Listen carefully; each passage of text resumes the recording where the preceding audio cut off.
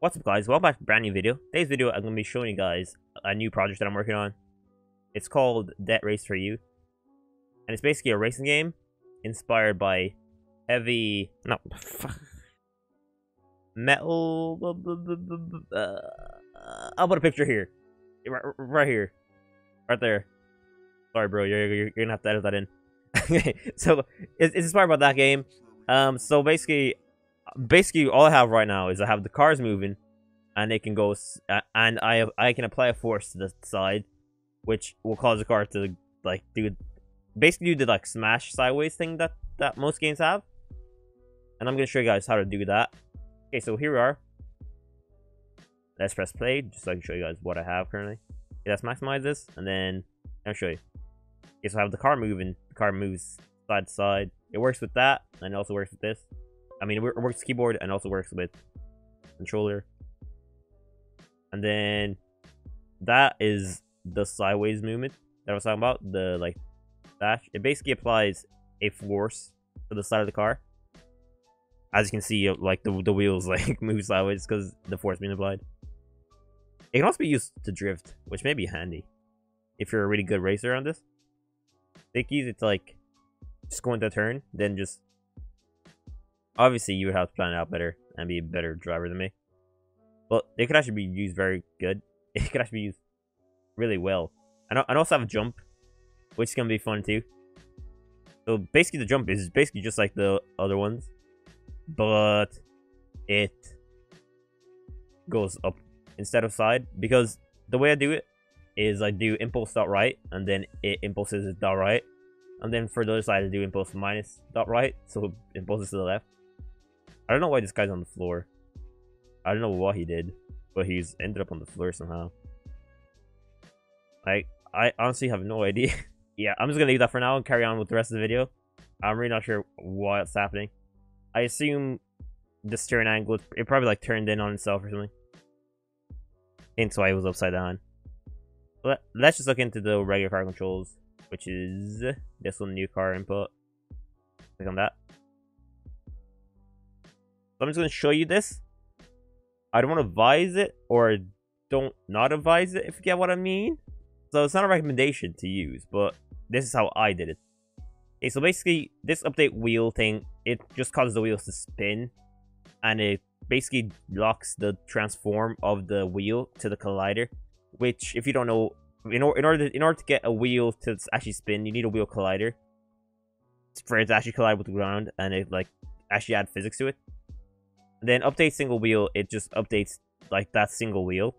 And then you need to do it to all the wheels. So it basically gets the world position of the collider and the rotation. And then it equals the rotation of... And then the wheels transform, which is the wheel, um, gets equal to the rotation of the collider, as I was saying. Then handle motor, I it's just like a really easy doing. It's just rear wheel, then dot motor torque, context.read float is basically the float is basically just the input of this. So it's either it's either zero or it's 0 0.1, 0 0.2, 0 0.3, all the way up to one when it's fully pressed in. So that basically allows you to do like a bit of a trigger throttle thing. Because this, this won't always be one or zero. Unless you're using the keyboard, obviously.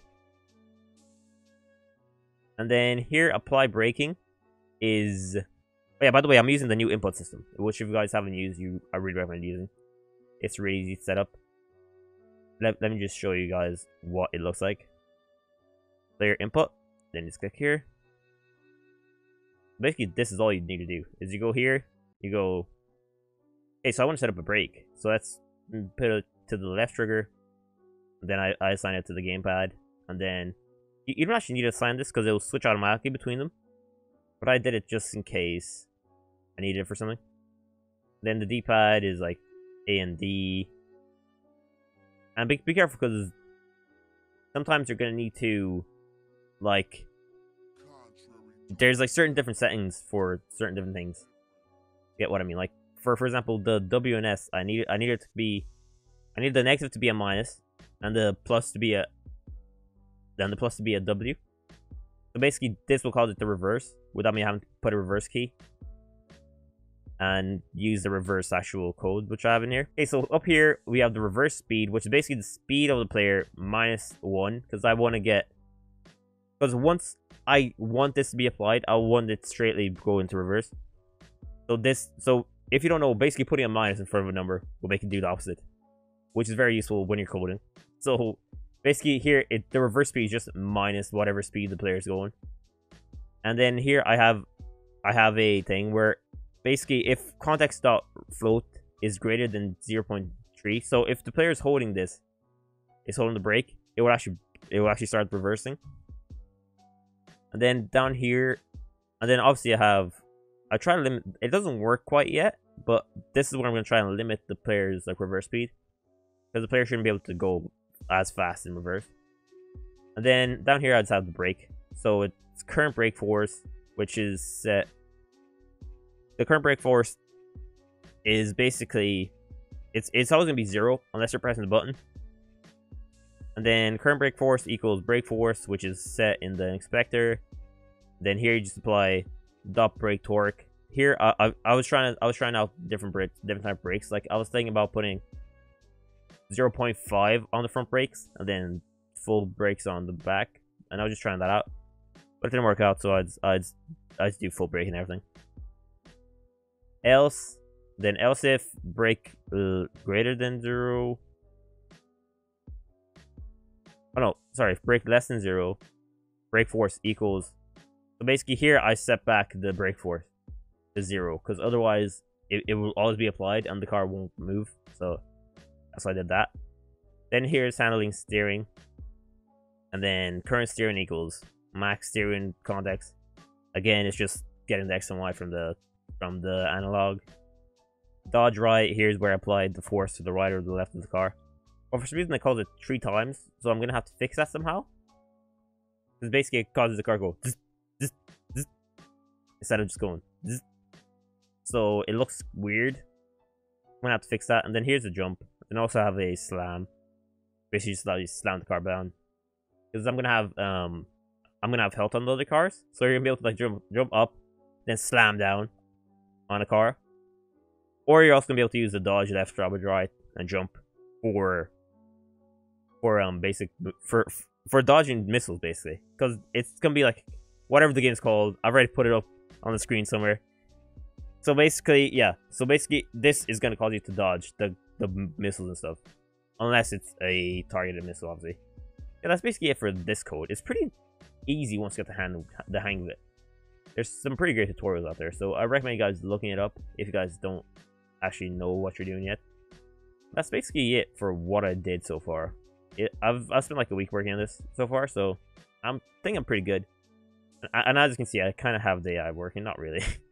Not really. I mean, he turned up he turned upside down somehow, even though he doesn't know how to jump or do anything. And and also have like the accelerate constantly calling it, which is a mistake. I now realize it was a mistake because basically he can't slow down ever. But yeah, that's basically it. Hope you guys did like this video. This like little little rundown of my code. I'll probably shorten it down like 10 minutes. Uh, yeah, so if you guys did like, subscribe and share. And I'll have an update on this game probably in a week or two. Mr. Boy Man Cool. I'm reporting out.